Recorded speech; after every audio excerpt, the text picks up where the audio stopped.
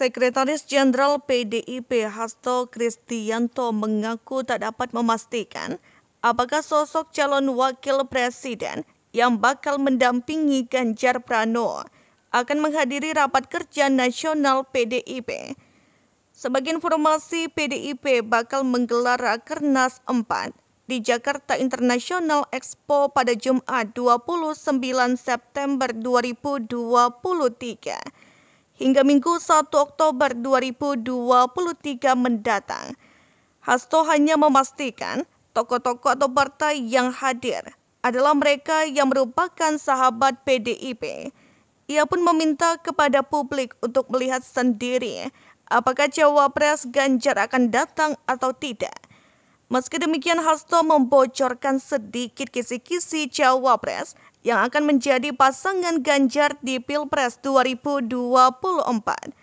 Menurut Hasto, tak menutup kemungkinan Cawapres Ganjar adalah seorang perempuan. Pasalnya kata Hasto, PDIP tak pernah membedakan gender terkait urusan politik. Ia juga mengatakan selama ini PDIP dikenal sebagai partai yang melahirkan banyak kepala daerah perempuan. Namun ia meminta agar bersabar menanti pengumuman langsung dari Ketua Umum PDIP, Megawati Soekarno Putri, terkait urusan Cawapres. Lebih lanjut, Hasto menuturkan Megawati, Presiden Joko Widodo, dan Ganjar Pranowo akan memberikan pidato di Rakernas 4 PDIP.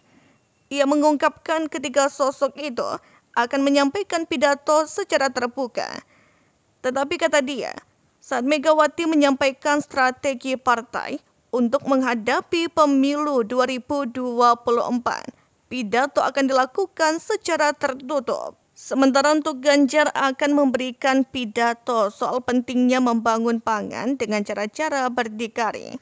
Sebab Ganjar sudah pernah menjadi pengurus diklat dan terlibat dalam sosialisasi dan perumusan soal membangun pangan.